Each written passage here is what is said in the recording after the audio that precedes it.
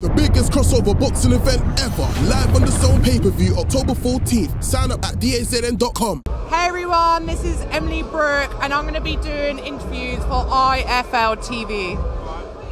So, who are we going to go interview? Fred, yeah?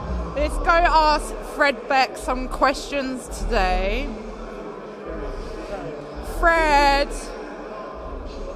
are you free for some questions? How are you today? I'm good. It's an honour to be on the channel once again. Kugan Cassius, legend of the game. Joe Pugh, another fam- very famous interviewer. I know a lot of people compare Joe Pugh to Kugan Cassius. You know, Joe could be overtaking him by now in, in skills of interviewing. I know it's, it's up to debate. You know, but I'm lucky to be on the channel. You know, big channel IFL. They are very impressive interviewers. So, who are you excited to see? Like, what's your favourite fight? I think Dean will lead. I think that's a very exciting fight to see. I'm sure they'll get into it. A few tables, a few chairs for them this week, so it should Yeah. be good. I'm excited to see them. You know, Dean will lead. I guess a lot of pro boxing fans like to see them box. So they're probably the most technical fight of the night. I would say.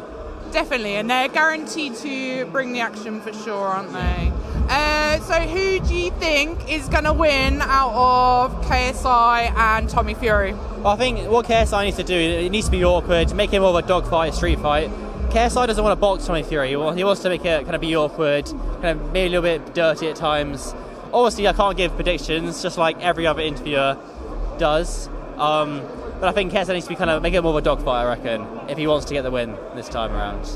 Agreed. He needs to use that erratic style, doesn't he? I think, Ah, I think a good decision though. I think the fight. I don't think I don't think either guy will get a knockout. I reckon a decision.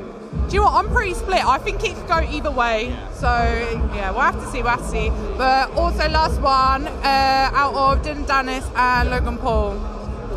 Well, I think it depends. I guess everyone's picking Logan for the fight, but if it's Dillon might do something illegal, he might do a rugby tackle or try and tap him out, get him a chokehold, kind of like Nate Diaz did at Jake Paul, or get him in a triangle lock or knee, punch, elbow.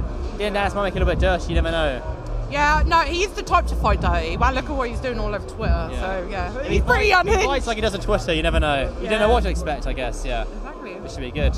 Wow, thank you for your time today, Fred. Thank you very much. You know, IFL big channel. Uh, big Shout out to them. IFL.